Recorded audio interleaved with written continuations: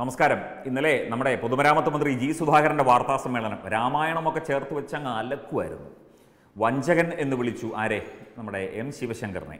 അതുപോലെ നയവഞ്ചകൻ ഭയങ്കര പദപ്രയോഗങ്ങളൊക്കെ ആയിരുന്നു. രാമായണ മാസത്തിൽ മുഖ്യമന്ത്രിയെ ബി ജെ പിയും പ്രതിപക്ഷവും വേട്ടയാടി എന്നാണ് പറയുന്നത്. എന്ത് വേട്ടയാണോ ആടിയത്? അറിയില്ല. എന്തൊക്കെയായാലും രാമായണ കഥ പറഞ്ഞത് അദ്ദേഹം അറിയാതെ പറഞ്ഞു പോയതാണെങ്കിലും അത് സത്യമായിട്ട് ഭവിച്ചു. അതായത് രാമായണത്തിലെ ഏതാണ്ട് അതേ കാര്യം തന്നെയാണ്. ഭവിച്ചത്. രാക്ഷസീയമായ ഭാവം എന്നൊക്കെ പറഞ്ഞത്.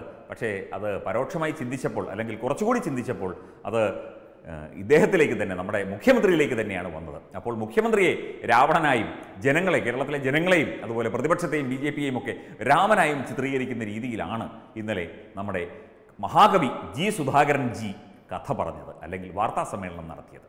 ഈ ഒരു വിഷയത്തിൽ ബി നേതാവ് ശ്രീ എം ടി രമേശ് അദ്ദേഹത്തിന്റെ ഫേസ്ബുക്ക് പോസ്റ്റ് ഈ ഒരു വിഷയത്തിൽ അദ്ദേഹം എഴുതിയിട്ടുണ്ട്. അതായത് സുധാകരനെ വിഭീഷണനായി അതായത് രാവണ രാവണന്റെ സഹോദരനാണെങ്കിലും രാമപക്ഷത്തേക്ക് ചേരുന്ന വിഭീഷണനായി ചിത്രീകരിച്ചുകൊണ്ട് വളരെ രസകരമായ ഒരു പോസ്റ്റാണ് ശ്രീ എം ടി രമേശ് ഇട്ടിരിക്കുന്നത്. ശ്രീ എം ടി രമേശ് തത്വമി ന്യൂസിനോട് ഈ വിഷയത്തിൽ സംസാരിച്ചു. അദ്ദേഹം പറയുന്നത് എന്താണെന്ന് കേൾക്കാം. ഇന്നലെ ബഹുമാനപ്പെട്ട പൊതുമരാമത്ത് വകുപ്പ് മന്ത്രി ജി സുധാകരൻ നടത്തിയ വാർത്താ സമ്മേളനത്തിൽ പ്രധാനപ്പെട്ട ചില രാഷ്ട്രീയ പ്രശ്നങ്ങളായി ഉയർത്തുകയുണ്ടായി ഒന്ന് അദ്ദേഹം മുഖ്യമന്ത്രിയുടെ പഴയ പ്രിൻസിപ്പൽ സെക്രട്ടറിയുടെ ശിവശങ്കറിന് വഞ്ചകനാണ് എന്നും അദ്ദേഹത്തിന്റെ വഞ്ചന തിരിച്ചറിയാൻ മുഖ്യമന്ത്രിക്ക് സാധിക്കാതെ പോയി എന്ന് ജ്യോതിഷിക്കുന്ന രീതിയിൽ അദ്ദേഹം പ്രസ്താവന നടത്തിയത്.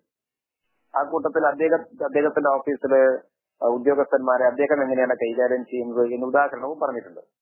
അപ്പൊ അതിന്റെ അർത്ഥം മുഖ്യമന്ത്രിക്ക് ഇക്കാര്യത്തിൽ കഴിവുകേടുണ്ട് എന്ന് പറയാതെ പറയുകയാണ്. ഈ കാര്യത്തിൽ മുഖ്യമന്ത്രിക്കുള്ള ഒരു ധാർമ്മിക ബാധ്യത ഒരു ഒരു പൊളിറ്റിക്കൽ ഡയബിലിറ്റി ഇക്കാര്യത്തിൽ ഉണ്ട് എന്ന് പറയാതെ പറയുകയാണ് സുധാകരൻ ചെയ്തിട്ടുള്ളത്. അതിന് അദ്ദേഹം കൂട്ടുപിടിച്ചത് രാമായണത്തെയാണ്. അപ്പം ഈ സുധാകരനെ പോലുള്ള ഒരു കമ്മ്യൂണിസ്റ്റ് പാർട്ടി നേതാവ് രാമായണത്തെ കൂട്ടുപിടിച്ചുകൊണ്ട് പറഞ്ഞപ്പോ അദ്ദേഹം പറഞ്ഞത് ഈ രാമായണ മാസത്തിൽ പിണറായി വിജയനെ വേട്ടയാടുന്നു എന്നുള്ളതാണ്.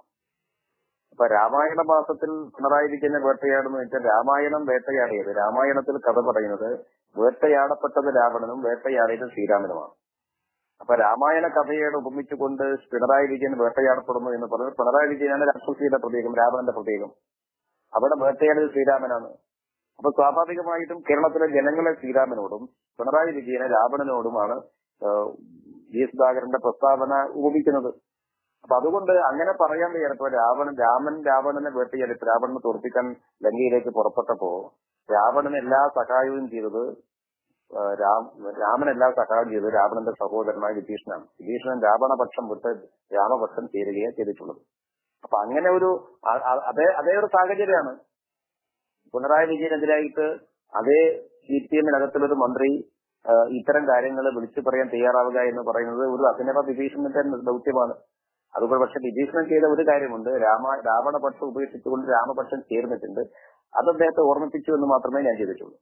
കേട്ടില്ല അദ്ദേഹം പറഞ്ഞത്? അദ്ദേഹത്തിന്റെ ഫേസ്ബുക്ക് പോസ്റ്റ് യഥാർത്ഥമായിട്ട് നമുക്കൊന്ന് ഒന്ന് കേൾക്കാം. രാമായണം മുഴുവൻ വായിച്ചിട്ടും സീതയും രാമനും തമ്മിലുള്ള ബന്ധം എന്താണെന്ന് തിരയുന്ന അല്പജ്ഞാ അല്പജ്ഞാനികളെ പോലെയാണ് മന്ത്രി ജി സുധാകരൻ എന്നാണ് ശ്രീ എം ടി രമേശ് പറയുന്നത്. രാമായണത്തിലെ ചില തത്വങ്ങൾ മനസ്സിലായത് തന്നെ മഹാഭാഗ്യം.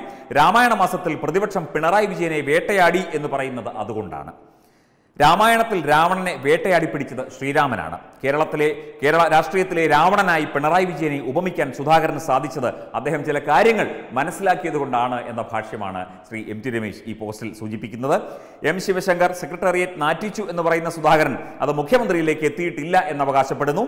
ഒപ്പം സ്വന്തം മൂക്കിന് കീഴിലുള്ള ദുർഗന്ധം തിരിച്ചറിയാൻ പറ്റാത്ത തരത്തിൽ കഴിവ് കെട്ടവനാണ് മുഖ്യമന്ത്രി എന്ന് ഇതോടെ സുധാകരൻ പരോക്ഷമായി സമ്മതിച്ചിരിക്കുകയാണ് അല്ലേ?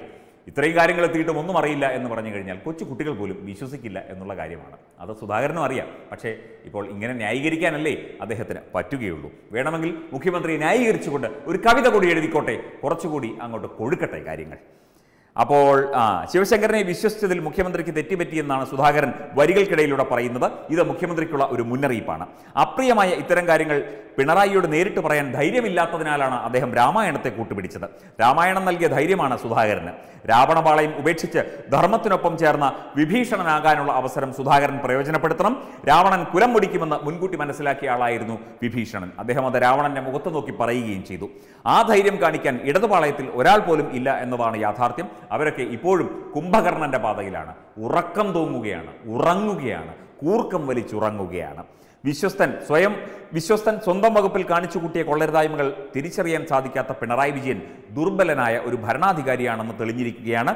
തെറ്റിന് കൂട്ടുനിൽക്കുന്നവരും തെറ്റുകാർ തന്നെയാണ്. രാവണൻ പറയുന്നത് കണ്ണടച്ച് അനുസരിക്കുന്ന മറ്റ് കുംഭകർ മറ്റ് കുംഭകർണന്മാർക്കിടയിൽ ഒരു വിഭീഷണനെങ്കിലും ഉണ്ടായിരുന്നെങ്കിൽ അത് ജനങ്ങൾക്ക് ആശ്വാസമായേനെ എന്ന് പറഞ്ഞുകൊണ്ടാണ് ശ്രീ എം ടി രമേശ് ഈ പോസ്റ്റ് അവസാനിപ്പിക്കുന്നത്. തീർച്ചയായും പറയാനുള്ള കാര്യങ്ങൾ പരോക്ഷമായി പറഞ്ഞതാണോ ശ്രീ ജി സുധാകരൻ എന്ന സംശയം ഇന്നലെ മുതൽ തന്നെ കമ്മ്യൂണിസ്റ്റുകാർക്കിടയിൽ വരെ സി പി എംകാർക്കിടയിൽ വരെ ചർച്ചാ വിഷയമായി എന്നാണ് രഹസ്യമായി കേൾക്കുന്നത്. നമുക്ക് വ്യക്തമായി അറിയില്ല. ഈ സഖാക്കൾ ചിലരൊക്കെ നമ്മുടെ സുഹൃത്തുക്കളുണ്ടല്ലോ അവരൊക്കെ പറയുന്നതാണ്.